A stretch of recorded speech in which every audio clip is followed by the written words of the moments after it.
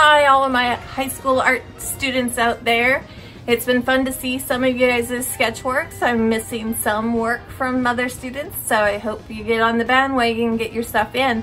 But I also really want to emphasize to students out there that this is not about necessarily getting the perfect sketch, but showing me that you're trying really hard and that it is your work. Make sure that it is your work and that you're not tracing, you're not doing anything that is um, really good, okay?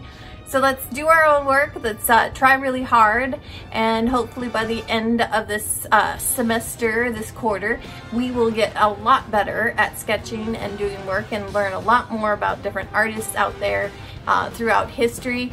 I'm really excited for this next week. I'm doing a comic book artist that's very well known, the king of comic books. Um, so hopefully you'll enjoy this and let's get started.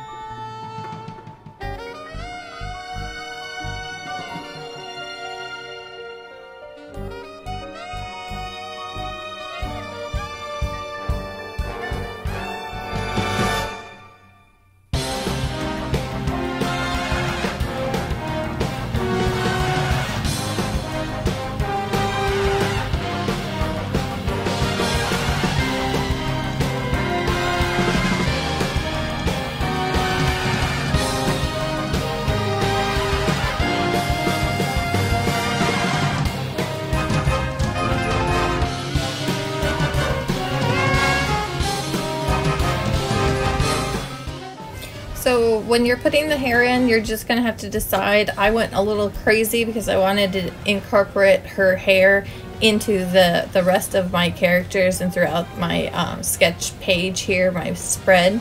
Um, but you do not have to do that. You can keep it contained and make it smaller, but her hair is part of her uh, power, so I was really stretching it out and making it go everywhere. So um, that is up to you. Have fun.